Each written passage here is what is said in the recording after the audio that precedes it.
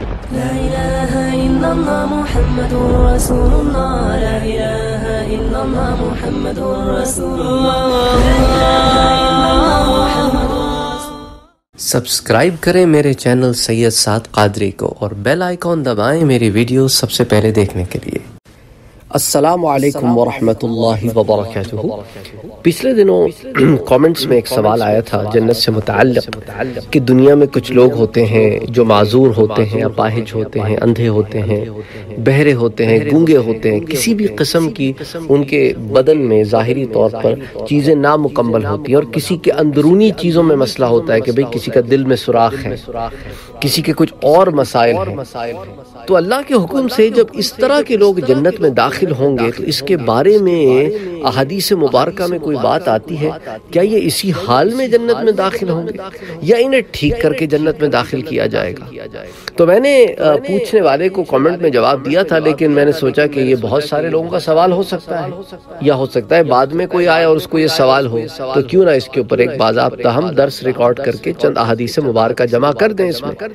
ایک حدیث مبارکہ جو میں آپ کے ساتھ شیئر کر رہا ہوں، حضور اکرم صلی اللہ علیہ وآلہ وسلم کا ارشاد پاک ہے کہ جنتی کا جو جنتی مرد جو ہے نا اس کے حسن و جمال کے بارے میں کہ بھئی جنتی مرد جو ہے نا وہ جرد ہوگا یعنی کہ اس کے جسم پر بھی بال نہیں ہوں گے اور داڑھی بھی اس کی نہیں ہوگی۔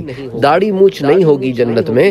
اور چہرے کے اوپر صرف یہ بھووں کے بال ہوں گے اور سر کے بال ہوں گے اور کوئی بال نہیں ہوں گے نہ جسم پہ نہ جسم کے کسی اور حصے پر سوائے سر کے اور یہ بھووں کے بال ہوں گے۔ اور اسی طرح جو ہے اس کی رنگت جو ہے وہ سفید ہوگی۔ گھنگریالے اس کے بال ہوں گے ذرا کرلی بال ہوں گے اور اس کی آنکھیں جو ہیں وہ ایسی ہوں گی جیسے سرما ڈالا ہوا ہے۔ عمر اس کی تینتیس برس کی ہوگی جب وہ جنت میں داخل ہوگا اور یہ سب کے سب جو ہے حضرت آدم علیہ السلام کی خلقت پر ہوں گے یعنی کہ قد میں حضرت آدم علیہ السلام کے قد جتنے ہوں گے کہ نو گز چوڑے اور ساٹھ گز لمبے۔ اس روایت کو المصنف ابن ابی شیبہ میں کتاب الجنہ میں ذکر کیا گیا ہے۔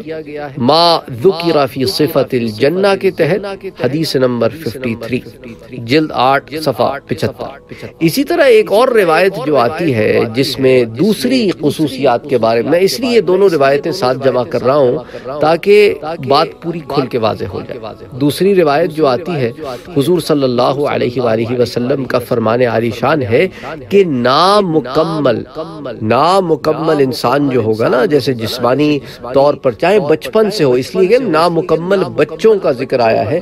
یعنی وہ بچپن سے جو جن میں کسی قسم کی کوئی کمی ہو خامی ہو وہ اور بہت بوڑھے۔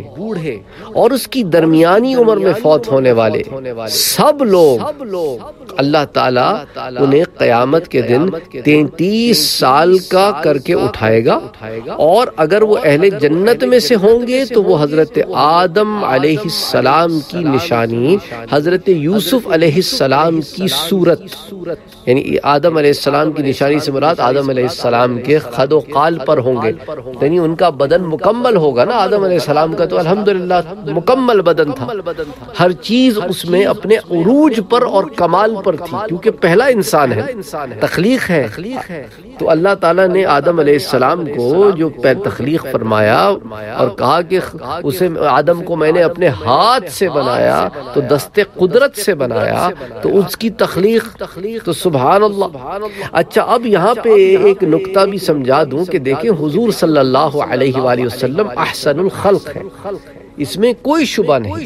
تو اللہ نے پھر حضور کے بارے میں یہاں پہ اس طرح کیوں نہیں فرمایا کہ حضور نشانی کے اس کی وجہ یہ ہے کہ اللہ تعالیٰ نے خاص انتظام اپنے حبیب کے لیے کیا ہے کہ میرا حبیب تو افضل الخلق ہے، پر اس افضل الخلق کے جیسا کسی کو نہیں کروں گا۔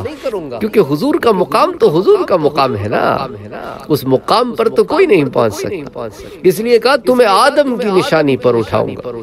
اور حسن و جمال یوسف کا دوں گا۔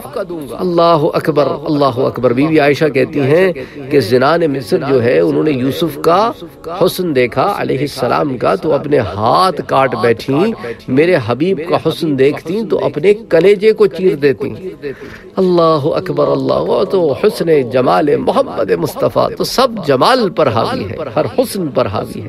تو اس لیے حضور تو ان سب میں امتیاز ہے حضور جیسا اللہ نے کسی کو نہیں بنایا نہ جنت میں نہ دنیا میں نہ کسی حال میں۔ تو اس لیے دیگر کا ذکر ہے اور کہا حضرت یوسف کی صورت پر اٹھائے گا اور ایوب کے قلب پر ہوگا۔ کیا؟ قلب ہے حضرت ایوب کا؟ یعنی جنتی اطمینان میں ہوگا۔ اطمینان میں ہوگا۔ ٹھنڈ ہوگی اندر جس کو کہتے ہیں نا عام زبان ٹھنڈ میں ہوگا۔ وہ راضی برضا ہوگا خوش ہوگا ہر حال میں۔ تو ایوب علیہ السلام کے قلب پر ہوگا۔ تو اس سے ہمیں یہ بات سامنے آتی ہے کہ انسان پوری تکمیل کے ساتھ جنت میں داخل ہوگا۔ عمر کے لحاظ سے تینتیس کا ہوگا۔ بدن کے لحاظ سے آدم علیہ السلام جیسا ہوگا۔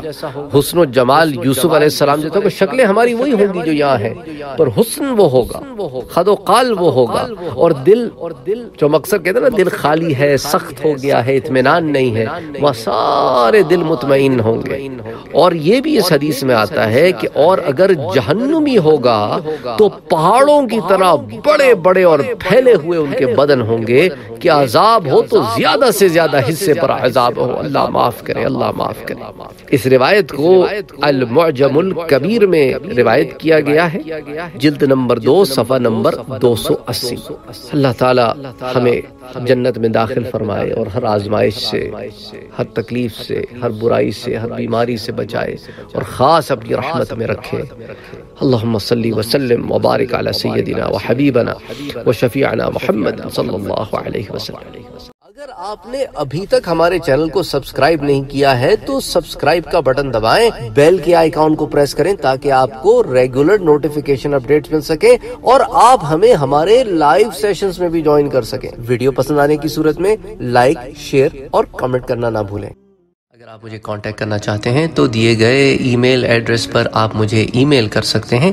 اسی طرح آپ ہمارے ٹویٹر کے اکاؤنٹ کو جوائن کر سکتے ہیں۔ انسٹاگرام پر آپ ہمیں فالو کر سکتے ہیں۔ اور فیس بک پر بھی آپ ہمارے ایک سے زائد پیجز ہیں۔ ایک انگلش میں، ایک اردو میں انہیں فالو کر سکتے ہیں۔ تو اگر آپ کو کوئی سوال ہے تو آپ یوٹیوب پر بھی پوچھ سکتے ہیں۔ اور ان اور مختلف پلیٹ فارم